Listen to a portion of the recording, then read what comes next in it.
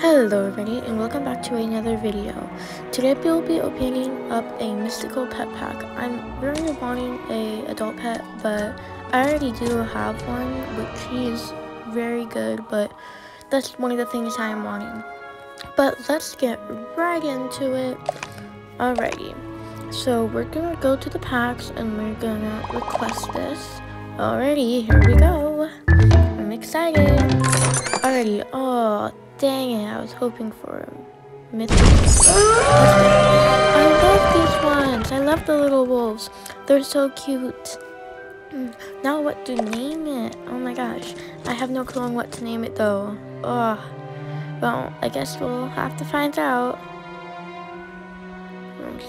51 minutes, so, um, but let's name her now. Hmm.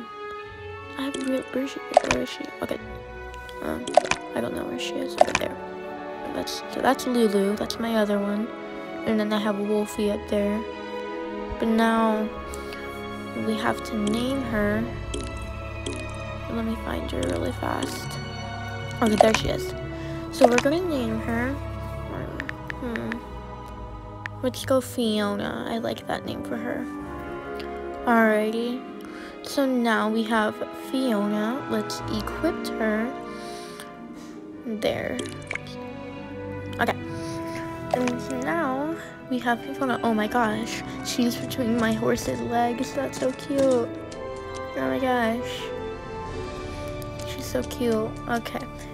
Well, maybe I can um, get the adult wolf next time. But thank you for watching. Be sure to like and subscribe.